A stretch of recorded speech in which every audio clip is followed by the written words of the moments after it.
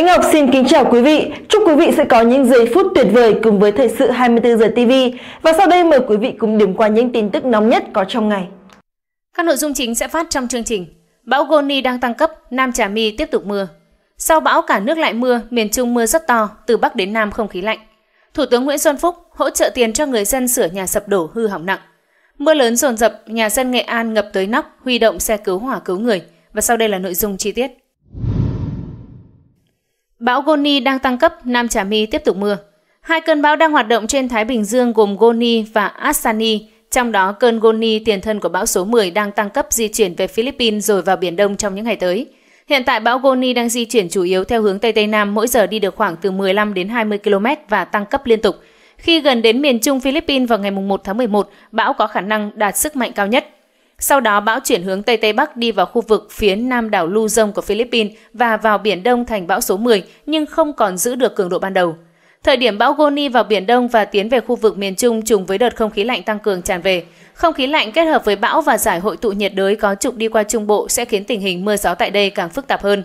Khu vực đổ bộ của bão được dự báo nằm trong khoảng các tỉnh từ Bình Định đến Khánh Hòa. Tuy nhiên, nhiều chuyên gia cho rằng nhiệt độ biển bị lạnh, khô đi bởi không khí lạnh và mưa gió những ngày vừa qua có thể khiến bão số 10 chết yểu ngay trên đường di chuyển trước khi vào đất liền nước ta.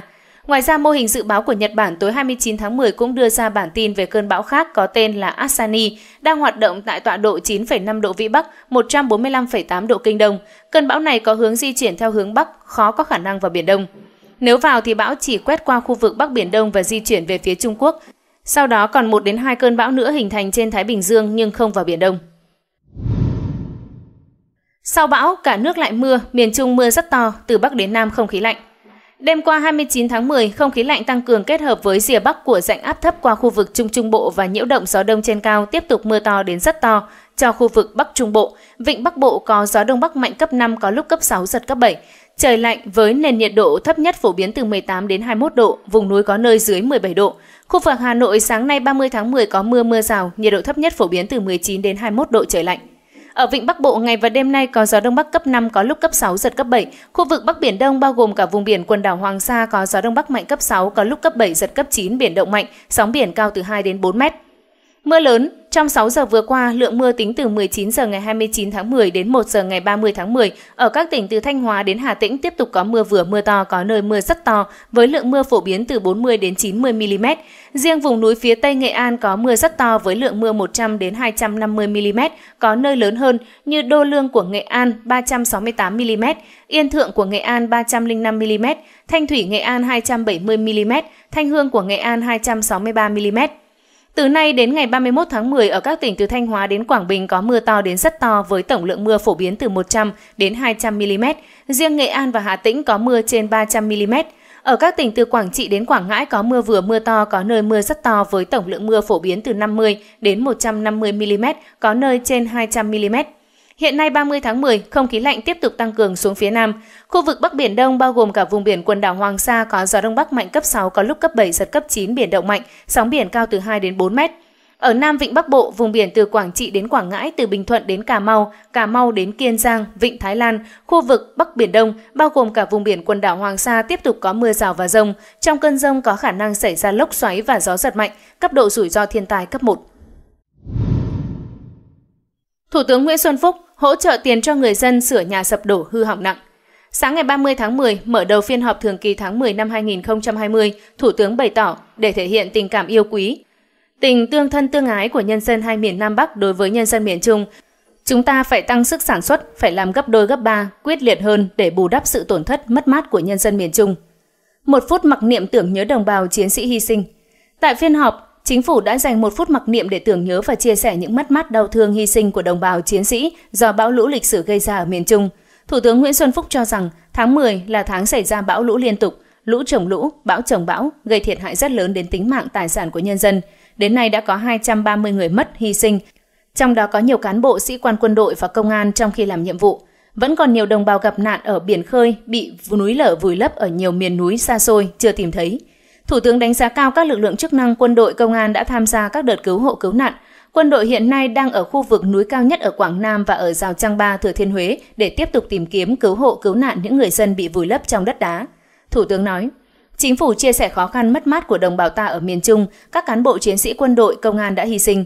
Chúng ta đã có nhiều biện pháp cứu hộ, cứu nạn quyết liệt, ra các chỉ thị kịp thời để sơ tán 1,3 triệu dân đến nơi an toàn, đã thành lập Sở Chỉ huy Tiền phương do Phó Thủ tướng Trịnh Đình Dũng làm trưởng ban, không chỉ đóng ở Đà Nẵng khi bão chưa đến, mà còn di chuyển vào Tam Kỳ, Quảng Nam và một bộ phận trực tiếp vào Quảng Ngãi. Cũng trong bão lũ, càng khó khăn, chúng ta càng thấy tình yêu thương đùm bọc của đồng bào đồng chí. Cả nước đã hướng về miền Trung, thấy sự đoàn kết, chung sức chung lòng của cả dân tộc trong khó khăn. Thủ tướng bày tỏ, chúng ta thấy ý chí quyết tâm vượt khó của đồng bào chiến sĩ, Tại phiên họp, Thủ tướng yêu cầu tập trung thảo luận về tình hình bão lũ, đưa ra một số biện pháp cần thiết. Thủ tướng cho biết, Chính phủ có trách nhiệm hỗ trợ các tỉnh gặp khó khăn với những nguồn lực cho phép, yêu cầu các cơ quan chức năng có trách nhiệm tổ chức các lực lượng hỗ trợ cần thiết, phát động trong toàn ngành những biện pháp đưa cuộc sống của người dân trở lại bình thường như đảm bảo giao thông, dựng lại nhà cửa, đưa học sinh trở lại trường học. Thủ tướng yêu cầu các cấp các ngành, nhất là lực lượng quân đội, công an các địa phương Bình Định, Quảng Nam, Thừa Thiên Huế tiếp tục cứu nạn cứu hộ, tìm kiếm những người mất tích, bị đất đá chôn vùi, ngư dân bị mất liên lạc. Tiếp tục chỉ đạo khắc phục hậu quả của bão lũ, nhanh chóng đưa cuộc sống của người dân trở lại bình thường, đưa con em sớm đến trường, trường lớp sạch sẽ, các em có đủ sách vở học tập. Hỗ trợ một khoản tiền cần thiết cho những hộ dân có nhà bị sụp đổ. Sau bão lũ không để dịch bệnh có thể xảy ra, đặc biệt là dịch tả, cúm mùa, cả nước đặc biệt là các vùng bị thay đổi lớn về sinh hoạt, cần đề phòng COVID-19 quay trở lại. Thủ tướng đề nghị Ban chỉ đạo phòng chống thiên tai sớm tổng hợp, đề xuất chính phủ những khoản hỗ trợ của nhà nước đối với các địa phương bị thiệt hại nặng nề như hỗ trợ về sản xuất, an sinh xã hội, tạo sinh kế cho người dân. Đây là điều quan trọng nhất. Hỗ trợ giống rau, giống lúa, lương thực, không để người dân nào bị thiếu đói, đặc biệt là chuẩn bị vật tư, vật liệu để giá cả từ tôn đến ngói, xi măng không bị để lên. Thủ tướng nhất trí việc hỗ trợ một khoản tiền cần thiết cho những hộ dân có nhà bị sụp đổ, hư hỏng nặng, với số lượng không quá 150.000 nhà bị tốc mái ở các tỉnh Quảng Nam, Quảng Ngãi, thì chúng ta đề xuất mức hỗ trợ như thế nào? Bộ Tài chính sớm thống nhất với Bộ Nông nghiệp và Phát triển Nông thôn để hỗ trợ cho các địa phương kịp thời. Ngành ngân hàng thực hiện việc giảm, giãn, hoãn, xóa những khoản theo quy định của pháp luật đối với vùng bị thiệt hại bởi thiên tai. Bộ Công Thương đảm bảo về giá cả, cung cấp điện cho người dân. Thủ tướng nhấn mạnh việc hỗ trợ để sản xuất của người dân trở lại bình thường là cái gốc để nhân dân có thu nhập sau bão lũ. Thủ tướng nói, để thể hiện tình cảm yêu quý, tình tương thân tương ái của nhân dân hai miền Nam Bắc đối với nhân dân miền Trung, chúng ta phải tăng sức sản xuất, phải làm gấp đôi gấp ba, quyết liệt hơn để bù đắp sự tổn thất mất mát của nhân dân miền Trung. Để làm sao thúc đẩy phát triển kinh tế xã hội với mục tiêu tăng trưởng ở mức 2 đến 3%, giải quyết nhiều việc làm, thu hút đầu tư phát triển. Mưa lớn dồn dập, nhà dân Nghệ An ngập tới nóc, huy động xe cứu hỏa cứu người.